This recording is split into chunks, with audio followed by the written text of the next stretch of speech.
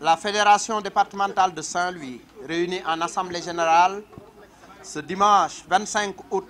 2019 à la permanence du parti situé à la place Sable de Sort, de 18h30 à 20h30 renouvelle son engagement et sa fidélité au frère secrétaire général national Maître Ablaye Wade. Nous, responsables et militants du Parti démocratique sénégalais du département de Saint-Louis,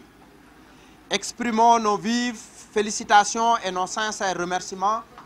au président Abdoulaye Wade pour avoir redonné de l'espoir aux membres du parti. Avec sa volonté affichée de redynamiser le PDS et de le, de le moderniser, de le rendre plus attrayant, il l'a aussi ouvert aux jeunes, aux femmes, aux militants de base ainsi qu'à ceux basés dans la diaspora. C'est pourquoi nous réaffirmons également notre totale adhésion en ce qui concerne la mise en place du nouveau secrétariat national et le remaniement prochain du comité directeur du PDS. Le PDS prend ainsi un nouveau départ et se lance résolument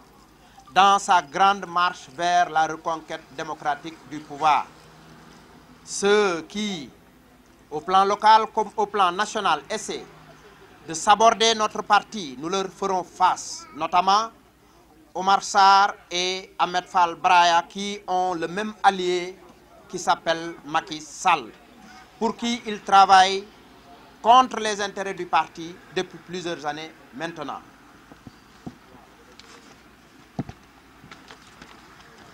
Par conséquent,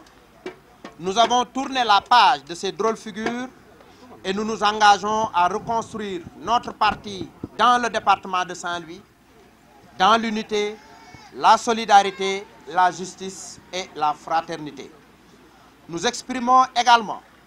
nos sincères félicitations et nos encouragements à l'ensemble des membres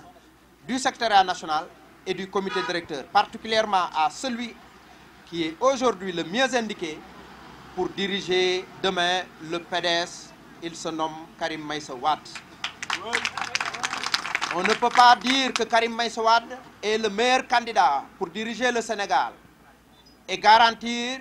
que quand il n'est pas candidat, l'élection présidentielle ne se tiendrait pas. Et revenir pour dire que celui-là qui aujourd'hui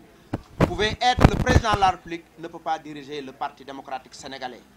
Nous souhaitons au moment venu que Karim Wade euh,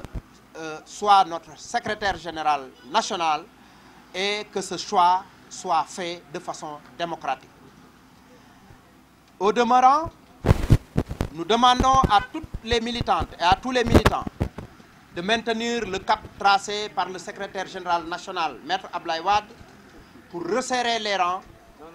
au sein de notre grand parti qui est le dernier espoir des Sénégalais pour redresser notre pays relever les défis et avancer sur le chemin que nous avions ouvert, le chemin de l'honneur, de la satisfaction des besoins des populations, le chemin qui amènera notre peuple au sein des nations développées et respectables.